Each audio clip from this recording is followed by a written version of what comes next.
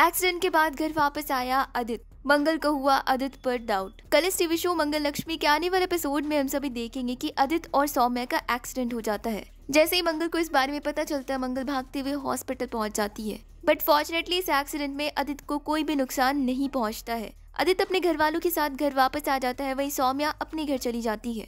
अब घर में आदित्य को बहुत सारे सवालों का सामना करना पड़ेगा। सबसे पहले मंगल आदित्य से कहती है कि आप तो ऑफ़िस जा रहे थे तो आप आगरा के नेशनल हाईवे में कैसे पहुँचे? अब मंगल ये सवाल इसीलिए पूछती है क्योंकि आदित्य का ऑफ़िस और आगरा हाईवे दोनों दो अपोजिट डायरेक्शन में है। इसके बाद मंगल के फ़ोन में सौम्या कॉल करती है और आदित्य का हालचाल पूछती है और साथ ही वो आदित्य से बात करना चाहती है। मंगल आदित्य को फ़ोन पास कर रही होती है कि तभी लक्ष्मी वहाँ पर बोलती है कि हम सब मिलकर बात कर लेंगे, आप फ़ोन को स्पीकर पर डाल दो।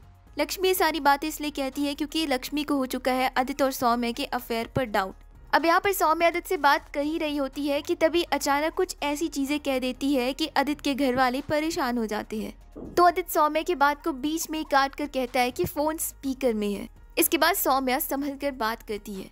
लेकिन आदित्य और सौम्य के आधे अधूरे कॉन्वर्सेशन को सुनने के बाद लक्ष्मी को हो चुका है आदित्य पर डाउट अब देखना इंटरेस्टिंग होने वाला कि क्या लक्ष्मी करेगी आदित्य के अफेयर को एक्सपोज आपको क्या कुछ कहना है इस पूरी अपडेट को लेकर? आप अपना ओपिनियन हमें कमेंट के ज़रिए ज़रूर बताइए।